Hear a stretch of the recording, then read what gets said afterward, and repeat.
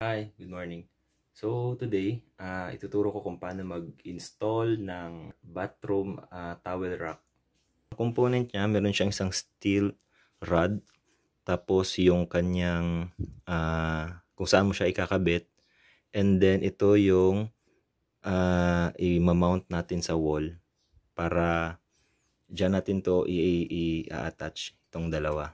First, ang ginawa ko is sinukat ko yung distance nung uh, kung saan ko siya ikakabit dito sa wall. Pinattern ko na rin yung dalawang brace niya kung saan mo ikakabit yung rod. Okay? So, let's get into drilling.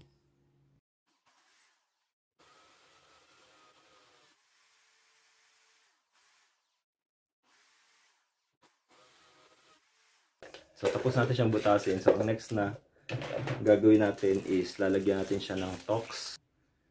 So ayan siya. So tox sa mga hindi nakaka nakakaalam ng tox, so ito yan.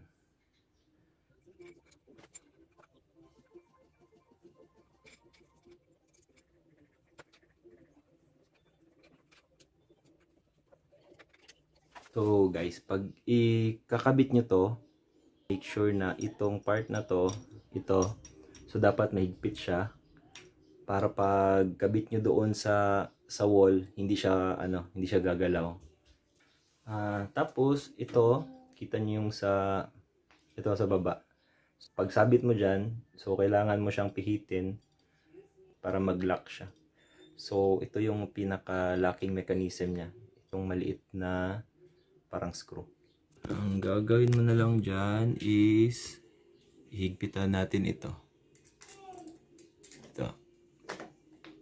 So, pwede mo siyang pihitin. Yan.